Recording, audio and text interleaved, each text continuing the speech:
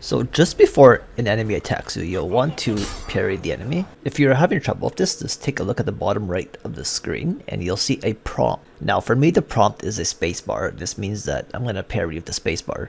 So you can use this prompt as an indicator to help you parry the enemy until you get good enough to not have to rely on that prompt anymore.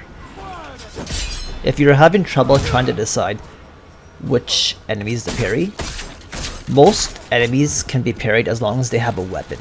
So even Chainsaw can be parried, but with Chainsaw it'll actually show you the prompt in front of the screen. It'll say press this button and you'll end up parrying the Chainsaw weapon. So for me that button is obviously spacebar, but if you're using a controller it might be a different button. Alright, so that's the quick tip on parrying. I hope you enjoyed the video, and hopefully this helps you understand how to parry.